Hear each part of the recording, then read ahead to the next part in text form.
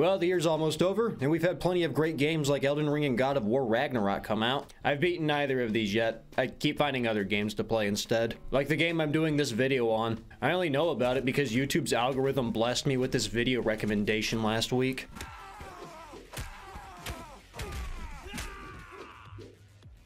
I saw that and went, yeah, I need to play this game now. So I did.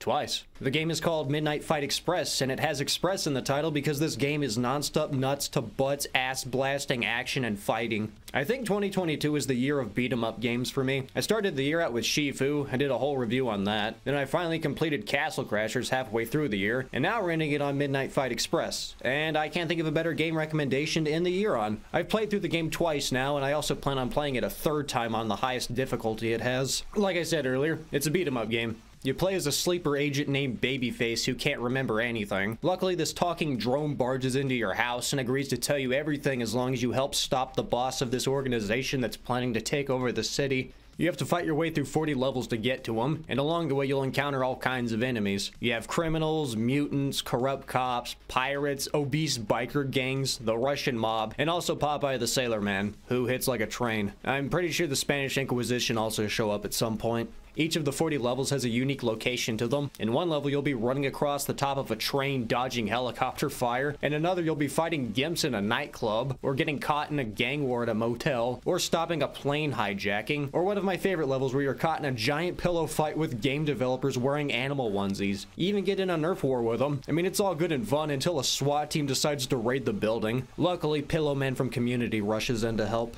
So yeah, you're going to be getting a variety of scenarios, that's for sure. Another favorite level of mine has you holding out in a graveyard. It's not too bad until one of the enemies summons zombies and you can't let them get near you. So yeah, add zombies to the list of enemies you'll deal with. The thing I really like is that the game really doesn't care how you take an enemy out. Whenever the bigger enemies first get introduced, it looks like you're going to have to use a bunch of heavy attacks to break their guard before doing damage, but no, you can just throw this explosive at them and instantly kill them. The game is incredibly fast paced. You'll be fighting multiple enemies at once and just switching between whoever's turn it is for a beatdown. There's also parrying for whenever you end up getting swarmed, or you can just roll out of it like I usually do. You unlock this easy parry move later on and boy does it really make attacking large groups easy. Each time you beat a level, you unlock skill points, and you can use them to unlock different abilities as the game goes on. A feature I appreciate was being able to refund an ability so that you could just use that skill point on a different ability to unlock. My favorite things to unlock were the brutal finishers. By the time you have most of the abilities unlocked, you'll be taking on entire rooms like it's nothing. Just flipping all over the place, disarming people, beating them with their own weapon, and doing brutal finishers like it's nothing. There's melee weapons scattered throughout the game like nightsticks, wrenches, sledgehammers, or something as simple and wacky as a toilet plunger in a bathroom. You just keep bashing people with something until it breaks, and then you find something else to go wild with. There's also guns later on you grab from enemies. You're limited to only one magazine, so make your shots count, especially in the later levels when most of the enemies also have guns.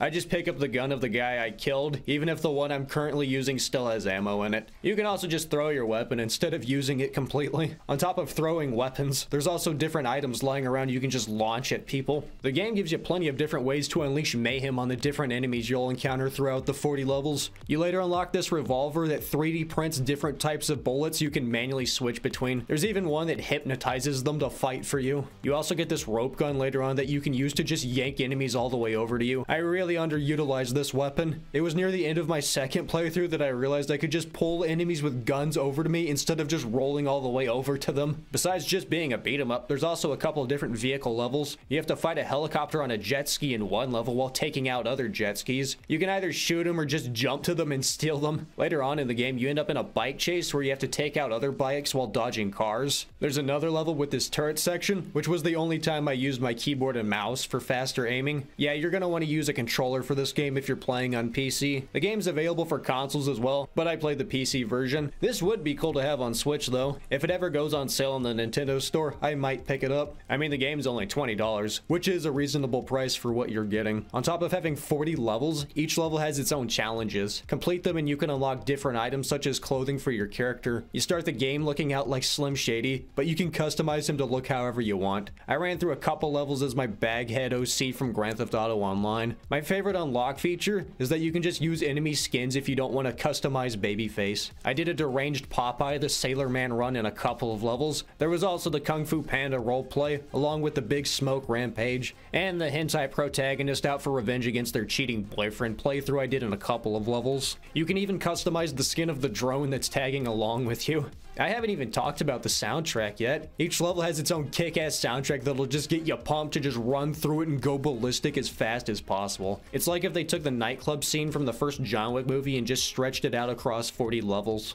The simplistic art style works really well with the over-the-top violence, the character models, and the level designs. The game also has a lot of humor scattered across it, plus there's also nods to other video games as well. The big ones I caught were San Andreas, Modern Warfare 2, and Portal references. There's probably many other nods in there, but those are the ones I noticed. You'll get plenty of playtime out of this if you're a completionist. On top of the challenges for each level, you also get ranked based on your score. I'm currently trying to get an S rank on all levels. Another thing is you can collect 10 gold teeth in each level. I think you get them by beating enemies with a weapon and they just spit them out. Though I'm having trouble trouble get them on this one level where you're on the roof of a truck. They kind of just go flying into the road before I can grab them. If you're not a completionist though, and are just wanting a one and done playthrough, I think it took me a little over three and a half hours on my first playthrough, and that was on normal difficulty, so I imagine it'll take way longer on the harder difficulties, which is a reasonable amount of time for the $20 price range. Honestly, I wouldn't wait for a sale, because I think you're going to get your money's worth from this game. I have hardly any complaints with the game. It was a blast the entire way through. The only time I had any issue was the level with the one chick in the Combine Duster. You have to run away while throwing explosives and also shooting at it with weapons you take from enemies.